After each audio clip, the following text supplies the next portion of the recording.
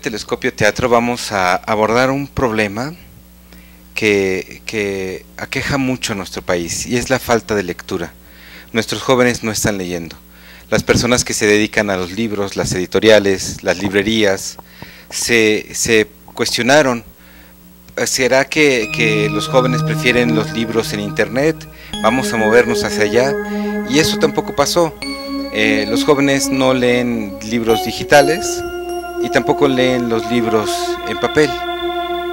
Ah, este, este problema lo, lo han tratado de, de, abordar las autoridades y creo que no le han dado el clavo porque vamos los índices a abordar de, un problema de lectura que, siguen que cayendo y cayendo. Queja mucho nuestro país. México es, una, es un país donde sus jóvenes, nuestros no jóvenes leen. no están leyendo. Pero afortunadamente que se dedican a los hay libros, personas desde la perspectiva joven que están aportando soluciones y están haciendo trabajo para que los jóvenes regresen a los libros. Y esto es bueno para ellos, es bueno para la industria, editorial, es bueno para los escritores, pero sobre todo es bueno para México. En unos momentos más comenzamos y les voy a presentar a mi invitada. Gracias.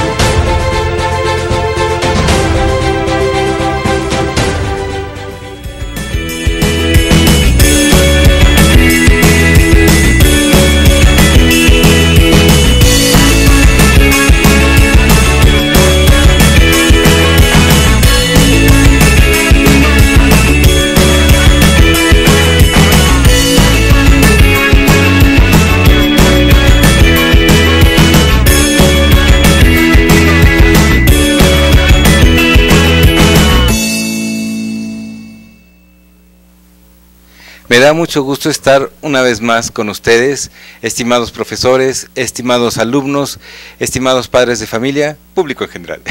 Qué bueno que estamos aquí. Hoy vamos a hablar del trabajo que está haciendo mi invitada, Abril G. Carrera, que es eh, licenciada en Letras Clásicas, es egresada de la Facultad de Filosofía y Letras de la UNAM, pero ella está haciendo una labor padrísima.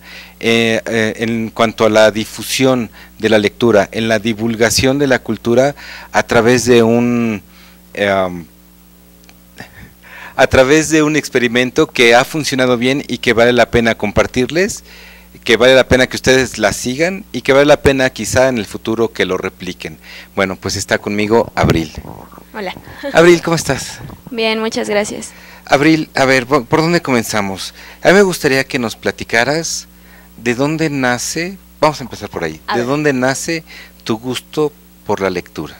Ok, um, bueno, es principalmente gracias a mis padres. Ellos son profesores también en, en sistema de preparatoria. Mi mamá ya se jubiló, mi papá todavía es profesor de matemáticas, mi mamá de español. Y ambos les gusta mucho leer cosas muy diferentes, ¿no? Mi mamá poesía, literatura, todo eso. mi papá ciencia ficción, historia. Entonces creo que fui muy afortunada porque en mi casa siempre hubo libros y ellos se tomaron muy en serio eso de darnos libros a nosotros, a mis hermanos y a mí. Uh -huh. Entonces era algo habitual que cada quincena llegaran con un librito para nosotros y pues ahí me, se me hizo tan natural algo que yo también veía a mis papás leer, dije pues esto es algo normal que pues así surgió mi gusto por leer. ¿Recuerdas tus primeras lecturas? ¿Alguno de aquellos libros que te haya dejado muy marcada? Sí, me acuerdo uno de los primeros libros que leí fue Titanes de la literatura infantil, que es un compendio de un montón de, de cuentos de los hermanos Andersen, no, ¿cuáles hermanos? De los de Hans Christian Andersen, de los hermanos Grimm, uh -huh. de Perrault, todos esos clásicos, esos sí. son como los primeros que yo me impactaron. Oye, sí, te impactaron porque sí. no tiene mucho que ver con la versión moderna que nos llegó de esos cuentos, sino que en sus versiones eh, originales son, me parecen muy oscuros. Sí, son de hecho muy oscuros. Eh, en ese, por ejemplo, los de Andersen siempre me parecieron muy trágicos. El soldadito de plomo y... Muy tristes, muy sí, patéticos. Pate no, no sé si patéticos, pero sí muy tristes. Y bueno, esos fueron como mis primeras lecturas, ya muchos años después, ya cuando hice un diplomado en literatura infantil y pude enterarme de, de en qué contexto surgieron todas esas historias, como que todo fue quedando más claro y, y aumentó mi admiración por todas esas historias también. Es que era una sociedad más dura. Sí. Entonces se preparaba a los niños para otra realidad. Pues más bien que ni siquiera eran tomados en cuenta. Los niños estaban, la infancia estaba invisibilizada. Si ahora ya le ponemos mucha atención es algo muy del siglo XX para acá y o incluso del siglo XIX todavía un poco. Pero por ejemplo cuando surgieron los cuentos de los hermanos Grimm, pues los niños no existían y esos cuentos se contaban en las tabernas y de ahí que tuvieran mucha connotación sexual, violencia y todo, porque pues no había preocupación por, por los niños. Entonces ahora pues ellos más bien se apropiaron de esas historias, ¿no? Como que lo maravilloso les llamó más a ellos y ahora ya esas historias han sido pues ya enfocadas más propiamente a la infancia. Cuando, cuando empezaban tus papás a llevarte libros y empezaste a leer ya por tu cuenta, ¿tenías algún tipo de literatura que te atrajera más? No, en realidad siempre he leído un poco de todo. Em, incluso me, eh, cuando era más pequeña leía mucha más literatura de terror. Pero creo que un gran cambio en mí se dio después de Harry Potter. O sea, sí recuerdo claramente que antes leía así todo y leer era como, ah, qué padre. Pero cuando llegó Harry Potter fue como una revelación impresionante en mi vida que de ahí supe que yo quería leer siempre, ¿no? Antes era como algo a lo mejor cotidiano, pero que no le daba yo tampoco mucha importancia y después de Harry Potter me impactó tanto que dije, es que siempre quiero leer y quiero leer mucho y de esta cosa, ¿no? De Harry Potter en, mientras se pueda y después otras historias que se parezcan un poco a Harry Potter o, o, más, o sea, como que siento que Harry Potter marcó un antes y un después de mí como lectora, ¿no? Mm, creo que aumentó mi hambre de conocer más historias.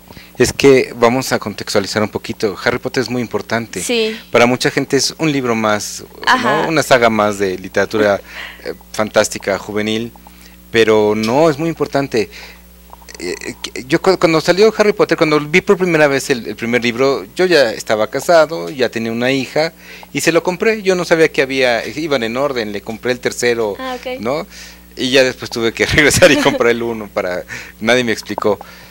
¿Qué edad tenías tú? estuvo bien padre porque yo conocí Harry Potter gracias a la película. Vi, tenía 11 años cuando salió la película. ¿Eras una niña? Sí, y entonces en casa de mis tíos vimos la primera película y me llamó la atención, o sea, no la super amé, pero más bien me llamó la atención y supe que estaba basada en un libro. Entonces le rogué a mi mamá porque me comprara el libro y cuando leí el libro fue como, ¿what?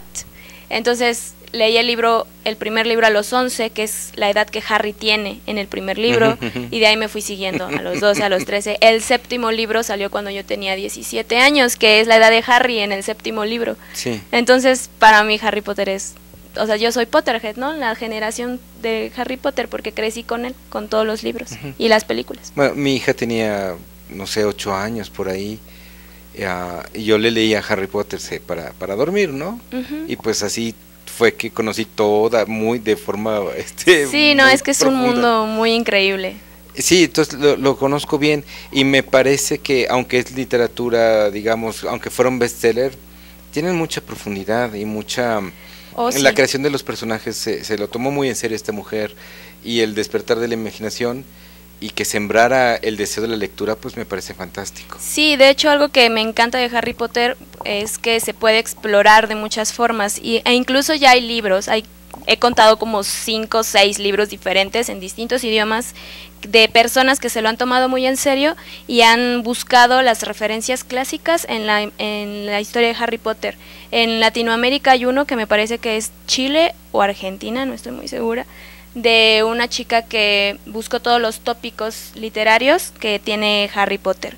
Y eso está impresionante. Para es que esta mujer no era inculta para nada y se basa en mucha mitología. Sí, muchísimo. No solamente europea. Exacto.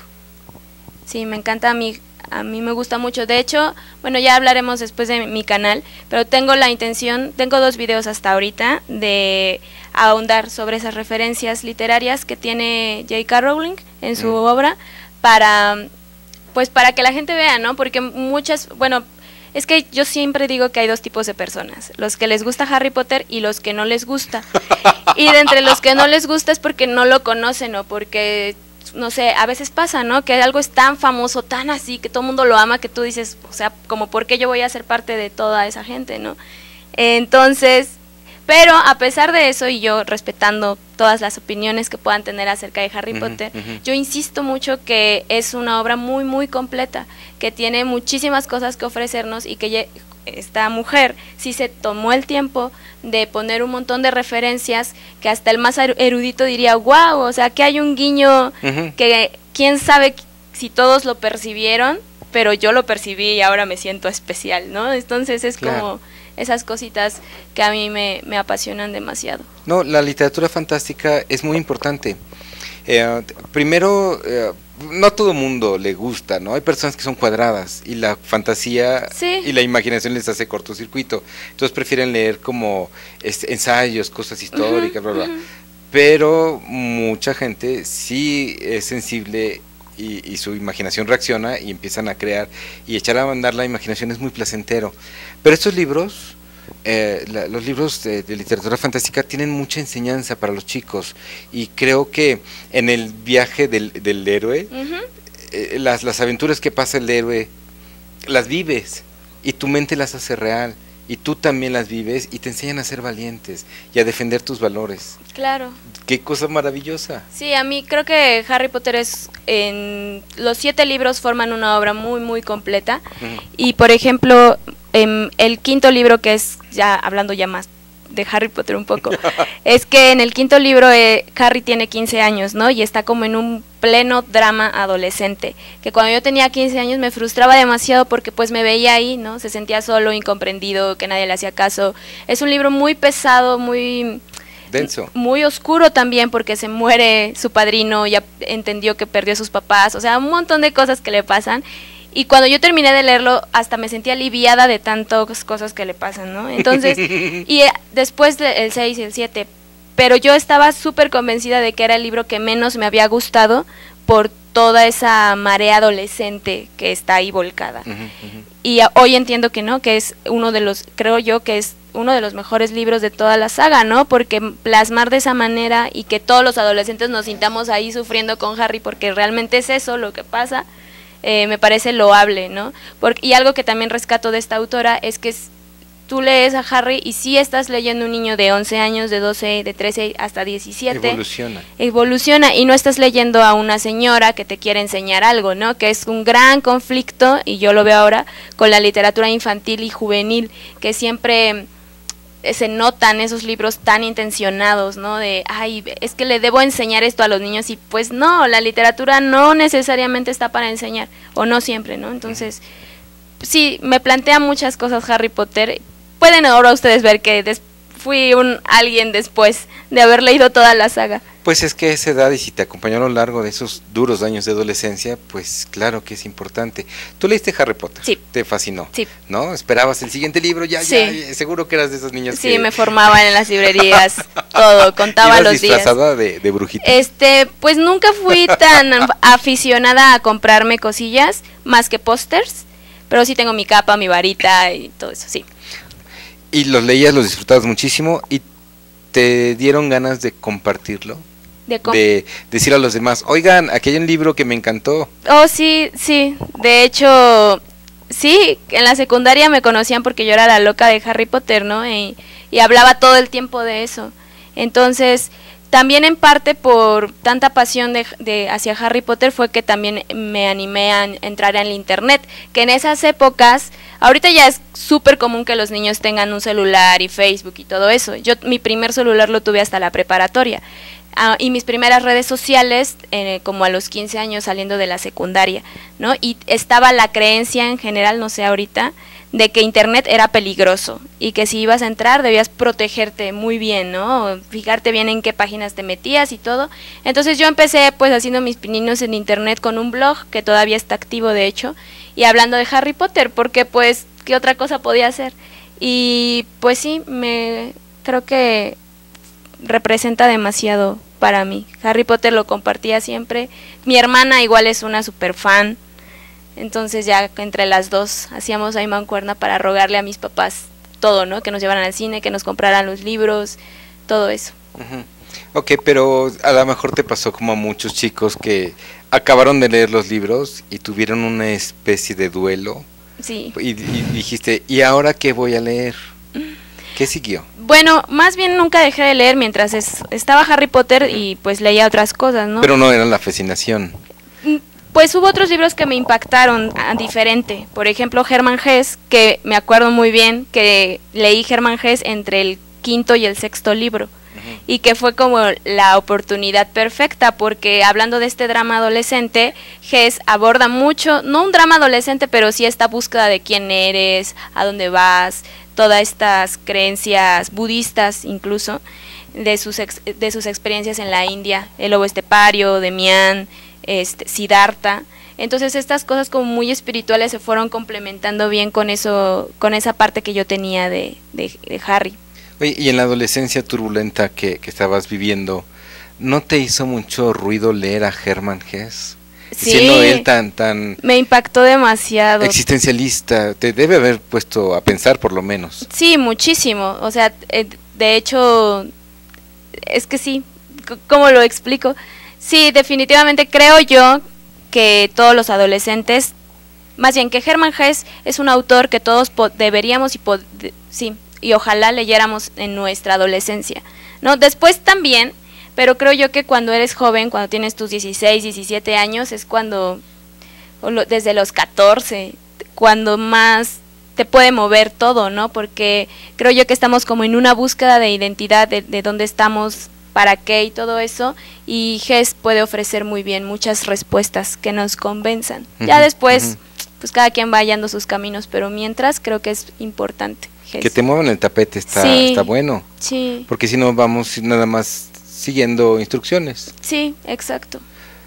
Y los chicos que no lo han leído, ¿qué, les dirías? Ah, que, para que lean a Herman Hess. Muchos chicos nos, nos, nos, nos ven y seguramente más adelante encontrarán este programa. El primer libro que leí de Herman Hess se llama Demian y comienza con un capítulo que yo creo que nos revela a todos, ¿no?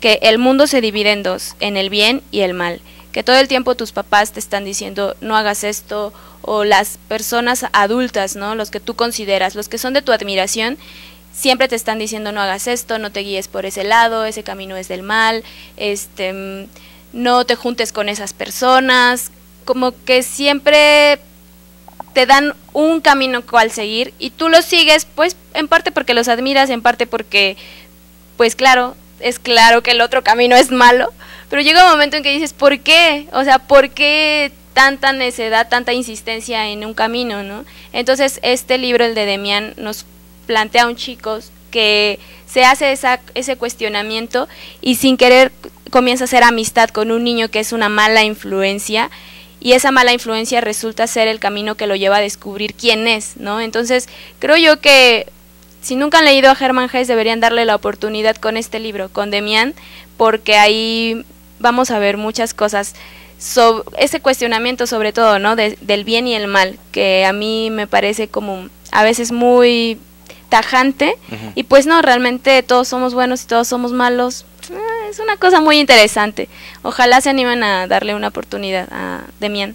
Ni, ni hay solamente bondad en lo bueno. Exacto, bien dicen, ¿no? Que somos una escala de grises. Ni todo lo malo es tan, tan malo. Ah, para mí fue una gran revelación porque yo hasta los 12 años, 13, yo sí decía, o eres malo o eres bueno, ¿no? O esto, es, o esto está bien o esto está mal. O sea, como que sí tenía muy marcado todo. Entonces llego con Germán Hess o con un libro quinto de Harry Potter donde Harry incluso se vuelve malo entonces dices, ¿qué rayos? No entiendo nada. ¿Qué está pasando? Me, me están tirando todos mis esquemas, ¿no? Que creo que yo creo yo que es algo de lo mejor que te puede ocurrir, que te tiren todos tus esquemas. Oye, y mientras tú estabas devorando libros, ¿te dabas cuenta de que a muchos de tus compañeros, de chicos de tu edad, no leían? Sí. ¿Por qué? ¿Por qué crees que pasa eso? Y pues después de pensarlo un poco, creo que sí influye muchísimo el ambiente familiar. O sea, es que yo solo puedo hablar desde lo que yo viví, ¿no? Entonces, como en mi casa era tan normal tener libros y leer, para mí era algo cotidiano y no entendía por qué no lo hacían los otros, aparte de que se tiene la creencia de que leer es aburrido, que leer es para que aprendas algo y que leer te hace mejor persona, cosa que no, en ninguna de las tres, ¿no? Entonces, yo me acuerdo mucho que cuando iba en la secundaria el- estaba este programa de libros del Rincón, de la SEP, que mandaba un montón de cajas de libros increíbles, nuevos, y me acuerdo mucho que en ese homenaje llevaron un montón de cajas y el director nos dijo, pues hay libros nuevos, si quieren llevarse alguno, vayan con la bibliotecaria, ¿no? Yo, eh, súper ansiosa en la hora del recreo, me formé, bueno, fui la única.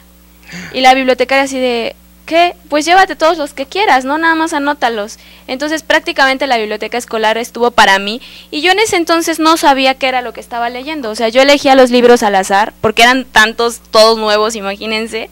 Entonces, pues yo los quería leer todos, pero una verdad que terminas aceptando como lector es que nunca te va a dar tiempo de leer todo lo que quieres leer. Pues fui eligiendo al azar y solo años después, ya cuando entré a la carrera, me di cuenta de qué libros había leído, ¿no? O sea, leí Italo Calvino, Chesterton, leía Justin Gardner, o sea, pero en ese momento era como que, ah, esto está cool, o no sé. Y solo después supe que no eran, o sea, no eran cualquier libro, eran grandes historias que nos estaban regalando en la secundaria, ¿no? Porque finalmente eso los envió la SEP. Mis compañeros no, algunas veces sí leían cuando yo les hablaba con mucha pasión de algo. Por ejemplo, cuando leí Pedro Páramo, estaba muy... No lo entendí, o sea, lo leí tres veces, porque la primera no lo entendí, la segunda más o menos, la tercera como que apenas le fui agarrando el hilo y toda esta, esta travesía de irlo, de querer entenderlo, lo compartía con mis compañeros. Entonces yo, es que este libro está rarísimo. Y entonces se pusieron muchos como el reto de, ay, a, a que yo sí lo entiendo, ¿no? Entonces se hizo como una dinámica padre, en el que nadie terminó entendiendo nada, pero pues al menos leyeron Pedro Páramo. Ya después, años después, nos reencontraré, reencontraríamos con la historia y todo sería diferente. Pero en ese momento, a los 13 años, Pedro Páramo está como mm, un poco complicado. Entonces, sí me daba cuenta de mis compañeros, pero pues al final también tengo la creencia de que la lectura en algún momento te va a encontrar. Eh, no necesariamente todos debemos leer de chiquitos, ojalá sí, sería lo ideal. Pues para que te dé tiempo, porque como Bueno, dices, sí. hay tantos autores, escribieron, algunos fueron tan prolíficos que entonces tienes que elegir, porque no puedes leer cualquier porquería. Claro, eso también eh, podría ser. Sí, es, es un debate muy interesante, la verdad. Entonces, bueno, A ver, este, Abril, a ver. tenías tu, tu pasión por la lectura, Sí. casi casi tu adicción. Sí, Esto, ¿leías porque aprendías, porque te gustan las historias, para escapar de la realidad? pues todas en algún momento, ¿no? En la adolescencia sí era mucho para, para hallar respuestas, para ver qué, qué me podían decir, algo que no supiera o algo que resolviera alguna duda, ¿no? Em, leo también por, por distracción, ¿no? Para, para hacer algo en lo que, por ejemplo, ha- hago muchos trayectos en transporte público. En la, pre- en la prepa me echaba una hora y media en transporte público, entonces pues siempre aprovechaba para leer algo por mi creencia, ¿no? De prefiero estar leyendo a, pues no sé, a mirar por la ventana. A veces es mejor mirar por la ventana, pero a veces es mejor estar leyendo. Entonces, sí, creo que todas las razones las he encontrado. O sea, de las razones por las cuales leo, creo que hay un momento para todas y por las cuales también elijo los libros, ¿no? El año pasado sí leía mucho para escapar, decía yo, ay, tengo muchos problemas, mejor me voy a poner a leer, ¿no? Entonces, sí, creo que no hay una sola razón para ponerte a leer, hay demasiadas. Todas. Todas son Todas, válidas. todas. Ok, bueno, estamos llegando a la mitad del programa. Wow. Para sí, se va como agua, es, es, es un poco frustrante a veces. Este, te voy a volver a invitar, porque Ah. tu plática es, es, es muy amena, entonces no, no, no vamos a acabar de, de hablar todo lo que tenemos. Gracias. Entonces, es la, es la primera vez que digo, voy a volver a traer a esta invitada. Qué Oye, honor. Este, bueno, a la- más o menos a la mitad del programa, a mí me gusta pedir eh, que Cabina nos mande fotos Ajá. para que nos platiques un poquito. Yo quiero hacer como que estas fotos sean la introducción para hablar de tu incursión en los medios. Ok, Bueno, vamos, vamos a ver si nos pueden mandar fotos y tú nos vas contando, ¿va? ok. Ah, bueno. Yo escogí esa, quise ponerte a ti leyendo. Sí, está bien. ya, la que sigue. ok, esa soy yo. Ah, esa es una presentación del libro de una autora regiomontana en la FIL de Minería. Ujú. Presentamos su libro Cuentos del Más Allá para Vivir en el Más Acá. Ok. Oh, ese es un proyecto personal que tengo con una de mis amigas booktubers que se llama Alejandra Arevalo, su canal es Sputnik, que quere- estamos incursionando, bueno, ya tiene desde hace como dos años que estamos haciendo videos especiales dedicados a la literatura infantil y juvenil en México. Ok. Con Toño Malpica, un gran representante de la literatura infantil y juvenil en México, Vámonos. léanlo, y Verónica Murguía también, que ganó el premio internacional SM en 2014 con Loba, una novela de fantasía épica, muy interesante también. En, bueno, ese es en la FIL Guadalajara, que es la gran fiesta de los libros. Yo creo que todos los lectores adictos debemos ir a la FIL Guadalajara y ahí estoy con unas amigas booktubers y eso fue en la feria, una pequeña feria intercultural en Tacámbaro, Michoacán, que es un pueblito muy pequeño en Michoacán, que nos invitaron también. Fil Guadalajara. Otra presentación de esta autora regiomontana, que es muy interesante su situación porque ella comenzó autopublicando su libro y después gracias a todas estas nuevas em, formas de compartir las lecturas, lo- YouTube principalmente, Booktubers, pues ahora tiene contrato con, con Penguin Random House Perfecto. y ya presentó su libro recientemente en Gandhi. Eso creo que también es Guadalajara. Con las chicas de Libros Before Tipos, todas ellas, bueno, todas las que estamos ahí somos booktubers, hacemos videos en internet sobre libros y hemos creado un colectivo feminista.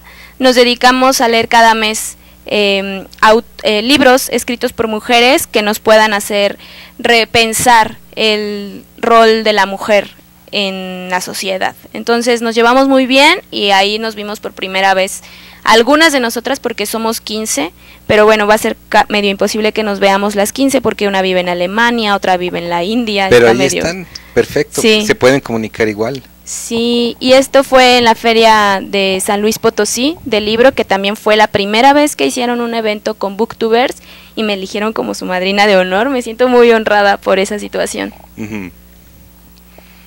Eso fue en la feria del libro de minería hace como dos años con otros booktubers. También este, creo que la más reconocida de los que están ahí es Fa Orozco. No sé si algunos de ustedes la conozcan, ojalá sí, su canal se llama Las Palabras de Fa y en cuanto a booktubers mexicanos es yo creo la más reconocida. Ese es un amigo mío ok. de San Luis. En la FILIG, que también es un evento muy grande de, de lectura en México, en la Ciudad de México. Me gusta mucho a, a mí ir para conocer muchos autores de literatura infantil y juvenil y ahí Ujú. también estoy con amigos booktubers. Igual en la FIL, en la FILIG, que tuve el placer de presentar un libro que se llama La ilusión del caos, del autor regiomontano Carlos Calles, que habla, aborda esto del cli-fi, que ya, yo creo ya va a empezar a tener un boom, porque son todas estas historias que surgen a raíz de los, del cambio climático, Ah, cómo nos podemos afectar, ver ¿Cómo nos afectados. afecta? Sí. Igual Phil Guadalajara. Ok, vámonos más rapidito, Memo, porque si no, no, no, no nos va a dar el programa. Sí, todas esas son de la FIL. Con Jaime Alfonso Sandoval, un gran autor también de literatura infantil y juvenil, muy recomendable. Más amigos booktubers. Yoconda Belli, tuve el placer de conocerla en la última FIL, que la admiro muchísimo, me siento muy feliz. Ah, también en la FIL Guadalajara gané el, el concurso de Somos Booktubers, que es un concurso nacional. Pues ya. Y también formo parte del comité lector de IBI México, que nos dedicamos a leer todas las novedades editoriales para decidir, bueno, bajo nuestros criterios lectores, cuáles recomendamos más para trabajar con niños y jóvenes. Y esta fue la presentación de la última guía, en, ahí en la Casa de la Araucaria. Perfecto. Pues son todas. Y en este, en esta mm, recuento de, de imágenes que estábamos haciendo, mencionaste, bueno, repetiste mucho la palabra booktuber. Sí. Abril, ¿tú eres booktuber? Sí. ¿Y no te da pena? No, ¿cómo? no, cuéntanos. Estoy muy orgullosa. ¿Cómo fue que llegaste y te convertiste en booktuber? Dijiste, yo quiero ser booktuber. ¿Cómo fue? Fue el azar y el ocio. Esto fue hace cuatro años. Yo estaba estudiando la universidad y pues yo renté. Bueno, bueno, mis papás me pagaron la renta para estudiar la universidad en, cerca de, la escuela. De un departamento. En un departamento, ¿no? Entonces vivía con mis amigos creo que no hay nada mejor que vivir con tus amigos. Pero ese día estábamos especialmente aburridos, yo no tenía nada que hacer y mi primo, que es mi amigo también, estaba estrenando su videocámara, una cámara de video. Y dijo, hay que grabar algo que no sé qué. En ese entonces estaba de moda el Harlem Shake, que era este bailecito todo tonto que te mueves pero es muy divertido. Y entonces se nos ocurrió grabar ese Harlem Shake. Estuvimos cotorreando ahí un rato, nos volvimos a aburrir y llegó un momento que mi amigo dijo, oye, pues tú siempre has querido hacer como un programa, ¿no? Deberíamos hacerlo de una vez. Y esto de que yo siempre quería hacer un programa es que cuando iba en la prepa, en el CCH Azcapotzalco, uh, este, mm, nos pusieron como proyecto hacer un programa de televisión sobre la sexualidad. Y yo lo organicé, me puse como la presentadora y nos organizamos todos. Entonces salió de tal manera que la maestra quedó tan contenta que me dijo que yo debería estudiar ciencias de la comunicación, que era como mi futuro. Sí, sí. Y yo dije, ah, gracias, pero pues voy para, para letras, ¿no? Em, aún así se me quedó esa idea y dije, pues tal vez podría ser algo, aunque no estudie eso, algo que donde pueda yo hablar y decir, porque como pueden ver me gusta demasiado hablar. Entonces ya grabamos ese video que de hecho el libro que estaba leyendo yo en ese momento es La ciudad de Dios de San Agustín y lo estaba leyendo por una tarea de la escuela. Entonces hablé de ese libro en ese video de una forma que muchos puristas les podría dar el paro cardíaco. Eh, pero bueno, y lo compartí en Facebook, pero jamás pensé que lo iba a volver a hacer. Yo dije, esto es una cosa de un ratito para divertirme y ya pero al compartirlo en Facebook, mis amigos empezaron a decir, ¿y cuándo subes el otro? Y queremos ver el otro. Querían más. Y yo así de, ¿qué? No, o sea, no, porque tener un canal es mucho trabajo. yo tengo una, es que los medios son, son los medios. Yo tengo una, una forma de explicarlo. Es tener un medio es como tener un dragón, son hermosos pero si tú no le das de comer, te come a ti. Exactamente. y al rato, pues sí, ya no tienes que subir. Exactamente. Yo nunca me lo había planteado con seriedad. Dije, pues un video no hay problema, pero más darme tiempo para grabar, darme, darme tiempo para editar y luego que yo en, edición... Pero, pero seguramente querrías releer el libro, estudiarlo, investigar un poquito. Exacto. Entonces, la verdad fue, les digo, más casualidad que otra cosa y yo dije, pues no, aunque me digan que siga subiendo videos, no lo voy a hacer porque no tengo tiempo y no me interesa tampoco. Eh, sin embargo, llegó un comentario de un amigo mío que conocía yo de la facultad y me dijo, oye, qué padre que estás hablando de libros, yo también lo hago. Y yo, ¿qué? ¿Qué? O sea, yo en ningún momento dije, wow, soy revolucionaria porque estoy hablando de libros, nunca pasó eso por mi mente pero que él me dijera que estaba hablando de libros fue cuando realmente me hice la pregunta de ¿qué se está hablando de libros en YouTube? ¿no? que en ese momento de la plataforma ya tenía cinco años o, seis años siendo muy importante, pero no por los libros, sino por X. X cosas, ¿no?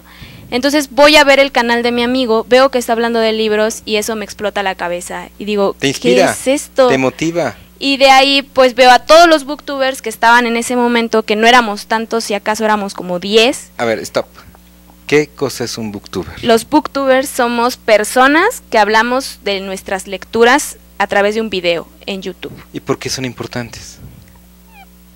¿Por qué somos importantes? ¿Por qué los invitan a todas partes? ¿Por qué tienes fotos con autores? ¿Por qué estás en la por qué tienes gafete? ¿Por qué te invitan? Esa es una gran pregunta. Bueno, yo creo que lo genuino de los booktubers es que somos lectores. Somos lectores que amamos leer, es nuestra adicción, podríamos llamarlo, y esa adicción nos transforma y nos gusta pues hablar todo el tiempo de lo que pensamos acerca de nuestras lecturas y eso por alguna razón a mucha gente le gusta y la mayoría de la gente a la que le gusta es gente que también prefiere leer o que ah, está buscando su camino lector y en- se encuentra con un booktuber y dicen, ah, claro, yo también me quiero apasionar de esta manera, ¿no? Sí. Entonces, creo yo que eso es un booktuber y creo yo que también por ahí, por, por lo genuino de nuestras de nuestras conversaciones o de lo, de lo que nos impresiona es Sus que- opiniones. Ajá, nos invitan, bueno, quiero creer que es por eso.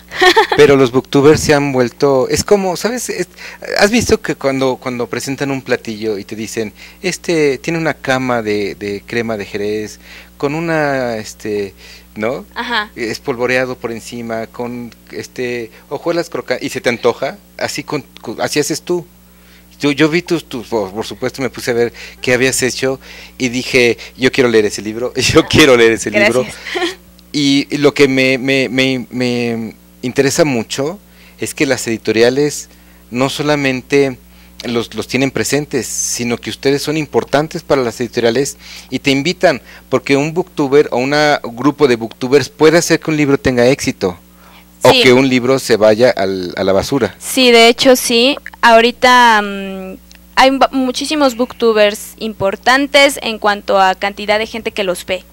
¿no? Entonces sí son capaces de mover toda una dinámica y como colectivo, como colectivo booktuber, pues hemos conseguido que se muevan muchísimos libros, ¿no? Yo me acuerdo bastante Persona Normal de Benito Taibo, que se publicó desde 2011, pero fue hasta 2014 cuando tuvo el boom y fue gracias a los booktubers, porque muchísimos booktubers se pusieron a leer su libro, les encantó y todos estaban haciendo su video.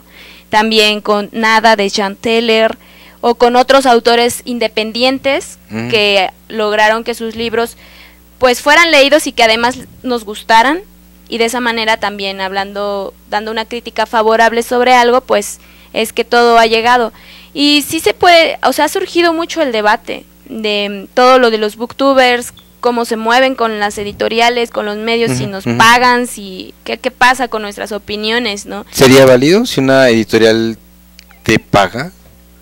sería válido si te paga y tú mantienes tu opinión genuina, ¿no? O sea, sería lo negativo es si tú cambias tu opinión a raíz de ese pago, ¿no? Que Porque te traicionas. Claro, o sea, en- un principio todos los canales booktubers, o al menos de los que yo conozco y el mío incluido, pues nuestra principal motivación es hablar de libros y compartir lo que sentimos por las lecturas. Eso es lo, lo que a mí siempre me ha movido, he procurado siempre moverme bajo esa línea. Y tus, tus, le- tus seguidores seguramente confían en tu juicio. Sí, es, sí, pues sí, me han dicho que, que esperan saber qué opino de tal o tal libro, ¿no? A veces, por lo mismo, por el trabajo que implica mantener activo un canal, porque pues no es solo subir el video y ya, es responder comentarios, mantenerte activo con la gente que te ve, ¿Te ocupa? sí, bastante. Entonces, a veces sí ha sido complicado para mí porque Ajá. pues no vivo de esto, o sea, no, Booktube, YouTube no me paga por hacer los videos, ¿no? O si me paga me da 10 pesos al mes. Entonces, es algo de lo que yo personalmente todavía no vivo. Mucha gente sí lo hace, ¿no? Vive de YouTube y eso es genial, a mí me parece algo genial. Entonces, pues a veces no me da tiempo de hablar de todos los libros de los que quiero hablar, pero pues también están las otras redes sociales, ¿no? Twitter. Facebook, Instagram. ¿Cuántos, ¿Cuántos seguidores tiene un booktuber influyente? Eh, Fa Orozco, que yo creo es la booktuber más importante de México en cuanto a seguidores, tiene más de 300 mil seguidores. Que en comparación con los youtubers, con, en comparación con la gente que hace videos en internet y que es influencer, Bueno, como Es- Germán y estos. ajá, como ellos, es nada. O sea, 300 mil con los 27 millones de Yuya, Ajá. o 22 creo tiene, entonces pues pues no es tanto sin embargo mis amigos muchos amigos me dicen pues los números es que al final no es tanto cuántos te ven no sino quiénes te ven y de qué forma tú estás transmitiendo lo que haces. Eso es. Entonces sí sí es algo considerable lo de los booktubers. ¿Hace cuánto tienes tu canal? cuatro años. Cuatro años. ¿Cada cuánto subes un... en esta temporada estoy subiendo un video a la semana. ¿Cuánto tiempo tardas en generar un video desde que te sientas, o más bien, decides hablar de X libro, le echas una revisadita, te sientas, lo filmas, luego lo editas? ¿Cuánto tiempo te toma? Yo me estoy tardando dos días porque, pues por mi trabajo, a veces no tengo como tiempo para hacerlo todo en un solo día, entonces ocupo generalmente dos. Son pedacitos de tu vida que le dedicas. Sí. Entonces, ahí, y ahí están, eh, para ti es algo valioso. Sí, muy valioso. ¿Por qué lo haces? Me gusta demasiado. Creo que así como pude decir que fue un antes y un después de Harry Potter en mi vida como lectora, mi vida como lectora también es un antes y un después de BookTube. A ver, ¿por qué?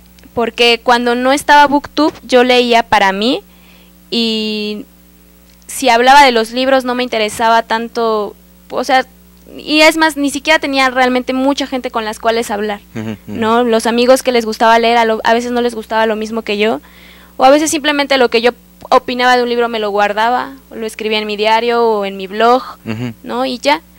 Pero después de BookTube me di cuenta de la gran cantidad de personas que está leyendo, de la gran cantidad que se sentía igual que yo, de que no sabía con quién compartir las lecturas, que nos encontramos.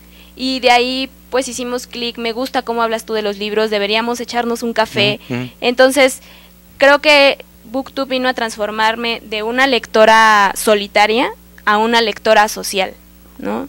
Y ahora cada vez que hablo de un libro, y bueno, más ahora que estoy trabajando con niños y jóvenes también, pues me preocupa mucho eh, como lectora hallar esas frases, esos momentos, esas cosas en la lectura que yo pueda transmitir para los demás y que ellos también puedan ver, ¿no? Que es algo que antes no hacía, o sea, antes leía sin importarme el mundo, solamente yo, y ahora leo siempre con esa, con esa idea, ¿no? De qué puedo compartir, hacia dónde me va a llevar esto, qué podría ser a partir de este párrafo. O sea, no sé, creo que sí me he transformado mucho como lectora. Yo quiero saber, antes leías para ti y ya, disfrutabas el libro. Ahora lees para la gente y estás todo el tiempo pendiente, consciente de que hay un público, de que lo que digas en el futuro sobre este libro este, los va a influenciar, van a opinar, etcétera. ¿No, le, ¿No te robó eso el placer de la lectura un poco? No, creo que incluso más bien lo transformó. O sea, no puedo decir que he dejado, eh, que he dejado de leer para mí. a mí me pasó esto. Este, yo tenía hace mucho tiempo una, una columna de crítica de cine, ¿no? Porque estudié literatura dramática, entonces sentía que podía opinar, ¿no? y no me gustó hacerlo porque ya no veía las películas, estaba pensando, ah, voy a decir esto, voy a decir otro, esta va a ser mi opinión y dejé de hacerlo, no estaba padre. Eh, claro. Mm, creo que, es que sí, ya, ya veo por, por dónde va. Pero, y creo que fue un conflicto que tuve hace como un año, ¿no? Que incluso dejé de leer, ¿no? Digo, es otro mito, ¿no? Yo no leo diario, ¿no? Sí, amo leer, pero pues leo cuando quiero. Y a veces quiero diario y a veces quiero una vez a la semana. Pero en esa época le, dejé de leer todo un mes, ¿no? Que para mí es demasiado tiempo. Y fue precisamente por eso, porque no, no me hallaba yo como lectora, que ya no sabía qué estaba haciendo.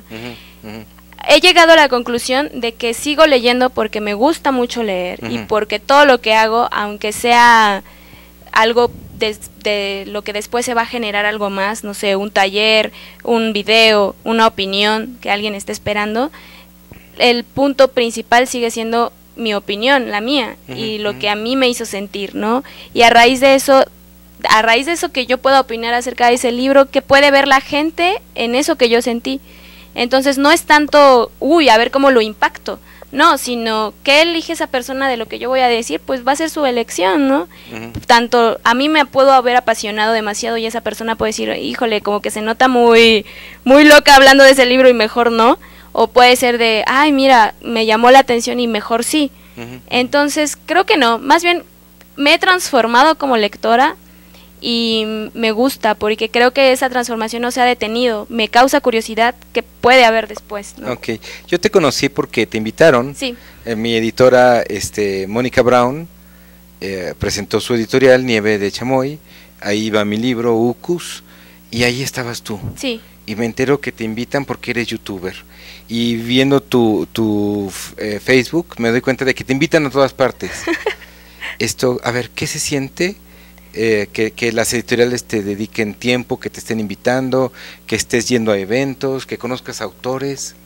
Pues yo me siento muy privilegiada y muy honrada también por todas las invitaciones, sobre todo por darme cuenta de que mi opinión es tomada en cuenta, ¿no? A veces creemos que lo que decimos no es importante o no es la gran cosa, o qué rayos voy a estar haciendo yo un video, por qué a la gente le gustaría.